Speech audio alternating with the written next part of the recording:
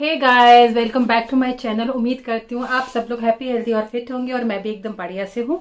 Kitchen में हूँ और होली का त्यौहार आने वाला है तो मैं होली के रंगों की तरह ही आपके लिए एक रंग भरी रेसिपी लेकर आई हूँ। तो आ जाइए, देखते हैं उस रेसिपी में कौन से कौन से इंग्रेडिएंट्स डालने हैं। यहाँ पालक को धोकर और चुकंदर के टुकड़े को हमने छील लिया है और ये हल्दी लिए। इन तीनों चीज़ों से हम कलर बनाएँगे। और ये मैदा है और घी ले लिया है हमने। कुछ बादाम लिए हैं, काजू लिए, किशमिश लिए, पिसा हुआ नारियल है और बूरा चीनी है। यहाँ हमने चुकंदर और पालक को पीस कर उसका जूस बना लिया है और हल्दी का सिरप बना लिया। यहाँ हमने आधा किलो मैदा लिया है और 125 ग्राम घी ले लिया है। अब इसको हम अच्छी तरह से इसमें मिक्स करेंगे।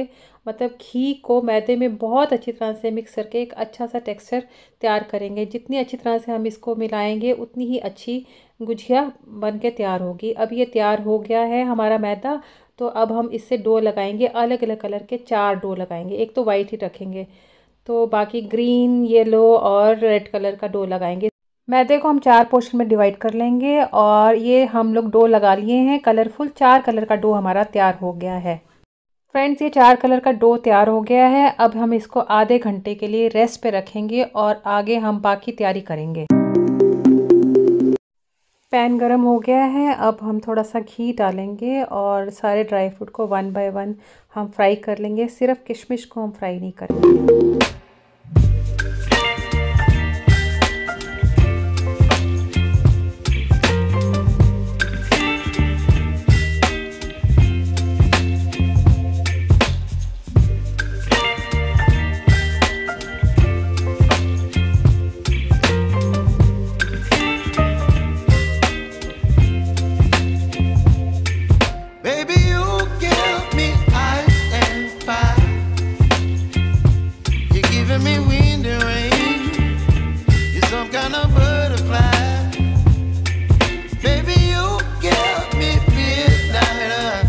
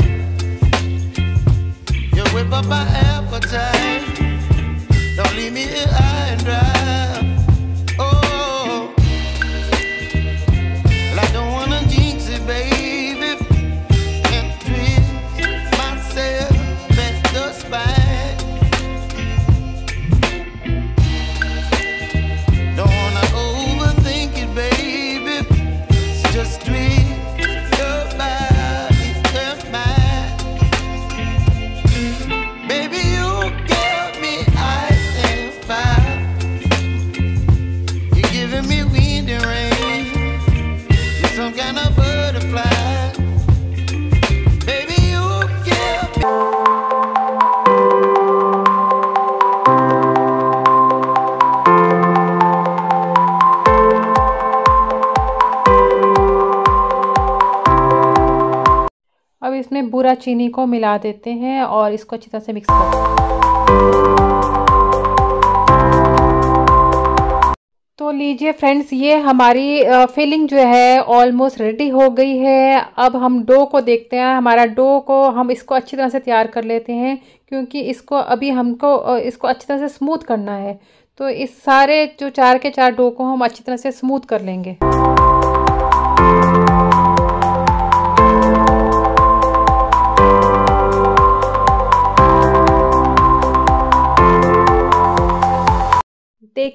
चार डो से हमने चार सिलेंडर तैयार कर लिया है और अब इसको हम डिवाइड करेंगे और इसकी गुछिया तैयार करेंगे। देखिए कैसे डिज़ाइन तैयार होगा।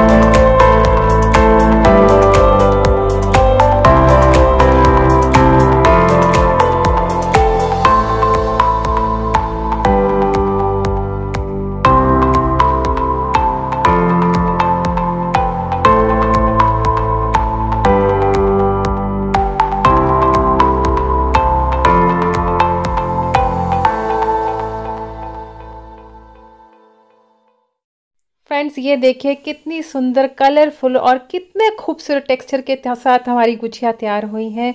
बहुत ही सुंदर डिज़ाइन आए हैं। दिल को खुश कर रहा है, आँखों को अच्छा लग रहा है और अब हमारा घी गर्म हो गया है और अब घी में हम इसको फ्राई करेंगे।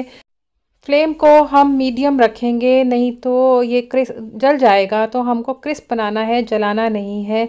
हमने पूड़ी को बहुत पतला रखा है, जिससे कि ये बहुत ही क्रिस्पी बनेगा। और अब हम इसको तल लेते हैं।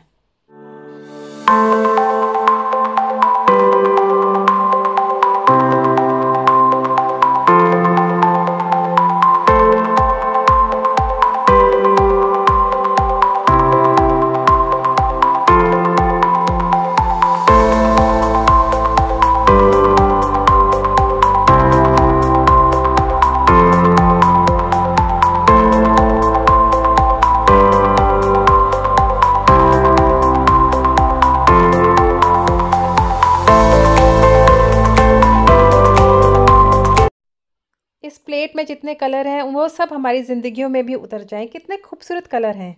फ्रेंड्स, उम्मीद करती हूँ होली की तरह और मेरी इस गुजिया की तरह हमारी ज़िंदगी में रंग भरे रहें और वो रंग कभी ज़िंदगी से खत्म ना हो। और इसी के साथ हमारी ज़िंदगी में खुशबू और मिठास भरी रहे। इसी के साथ मैं आज का अपना कार्यक्रम, यानी अपना व्लॉग एंड करती हूँ। उम्मीद करती हूँ आप मेरे चैनल को सब्सक्राइब करेंगे लाइक करेंगे और शेयर करेंगे। अपना ख्याल रखिए। Bye bye love you all